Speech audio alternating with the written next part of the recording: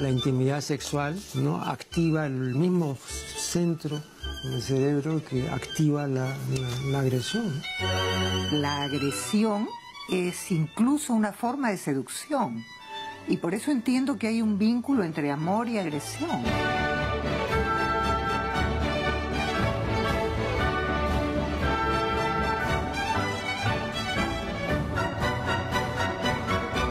No, no hay ninguna historia de, amor eh, marital.